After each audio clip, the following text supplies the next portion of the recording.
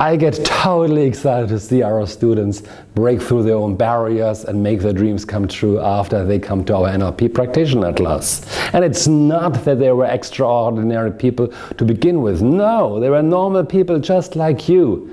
Men and women, older and younger, directors, CEOs, students, politicians, executives, managers, coaches, therapists, trainers, you name it, they were here.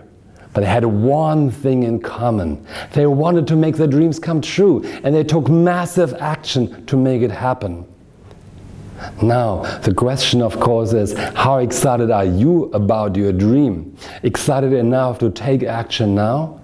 So why don't you contact us? Our contact details are somewhere around here, and I look forward to seeing you in one of our future classes. My name is Andreas from Asia Mind Dynamics and we make dreams come true.